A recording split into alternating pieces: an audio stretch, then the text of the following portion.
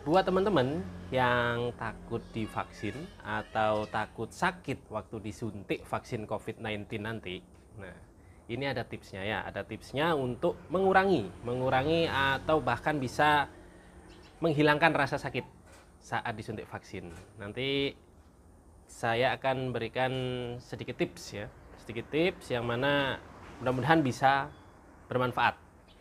Nah, untuk tips yang pertama, tips yang pertama ini paling penting sih menurut saya. Jadi, kalau kalian salah langkah dalam menjalankan tips yang pertama ini, ya itu fatal. Yang pertama adalah pakaian. Pakaian kalian gunakan pakaian yang bebas, rapi, sopan karena untuk kegiatan vaksin COVID-19 kan dilaksanakan di instansi pemerintah ya rata-rata. Walaupun di swasta juga instansinya instansi kesehatan. Jadi harus berpakaian rapi, sopan, tapi juga boleh santai. Yang paling penting adalah yang paling penting pakaian, pakaian hindari pakaian yang ketat di daerah lengan. Nah, jadi ini kalau saya sih sudah memprediksi nanti tidak kesusahan saat petugas medis menyuntikkan vaksin, tinggal ngangkat. Nah, kalau kalian di sini nanti sudah terlalu ketat pakaiannya, itu otot kalian akan tegang. Nah, kalau kalian ototnya tegang nanti pasti akan menimbulkan rasa lebih nyeri dibandingkan kalian bisa lemas ya. Jadi itu yang paling penting. Pakaian ya. Simple tapi sangat fatal. Nah, untuk yang kedua, yang kedua yang tidak kalah penting adalah sarapan ya. Jadi sarapan itu jangan disepelekan. Kalau kalian punya tenaga nanti saat disuntik, saat divaksin, otomatis tubuh kalian akan siap. Tubuh kalian akan siap sehingga rasa nyeri pun bisa diredam. Nah, ini jadi mohon maaf sekali karena tadi di rumah juga waktu mepet sehingga untuk sarapan saya hari ini ya harus bawa sarapan sendiri di mobil nggak bisa sarapan di rumah juga lagi lagi ngikutin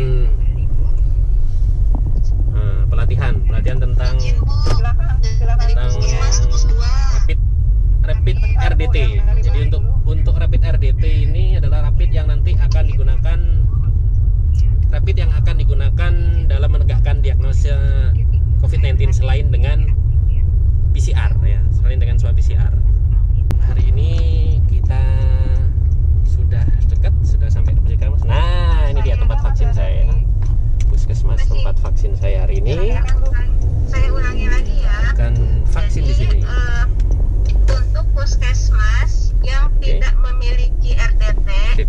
untuk tips berikutnya tunggu ya tunggu ya tunggu ya parkir dulu parkir puskesmas yang memiliki atau tidak memiliki RDT video yang dikirimkan adalah video pengambilan swab nas untuk ngurangin rasa nyeri nah untuk ngurangin rasa nyeri kita tanya sekarang sama ahlinya ahlinya suntik nih nah gimana ya Aduh, ahlinya suntik hilang ya. yang pertama apa tips-tipsnya ini saat disuntik nanti nah, Ah, intinya pada saat kita disuntik, posisi kita nanti rileks ya. Itu Ya. yang pertama kuncinya. yuk Nah. langsung kita peragain aja ya langsung kita peragain ya Oke, Nah. diperagakan boleh.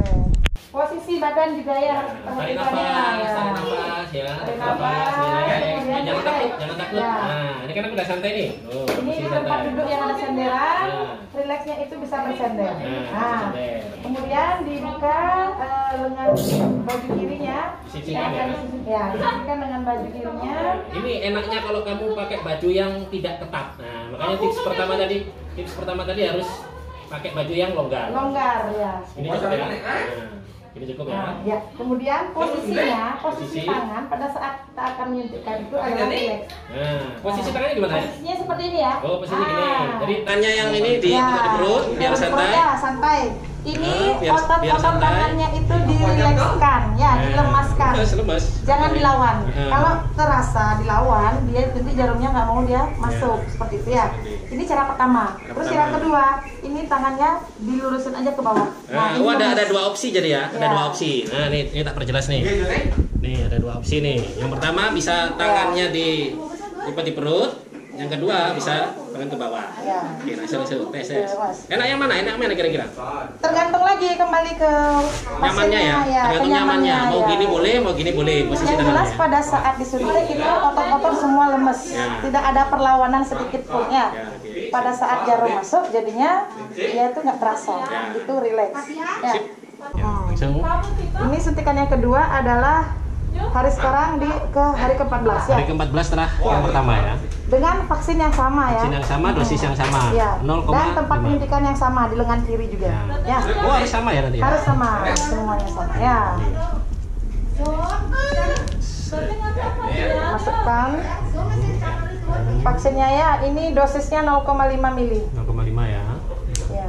Ini dia. Oke.